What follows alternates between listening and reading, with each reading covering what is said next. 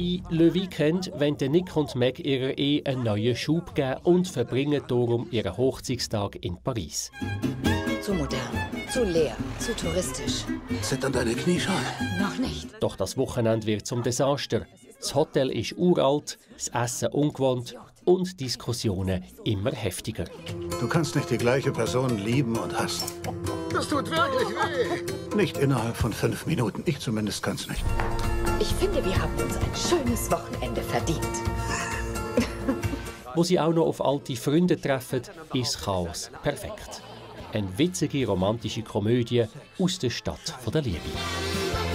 Wer will da noch woanders leben?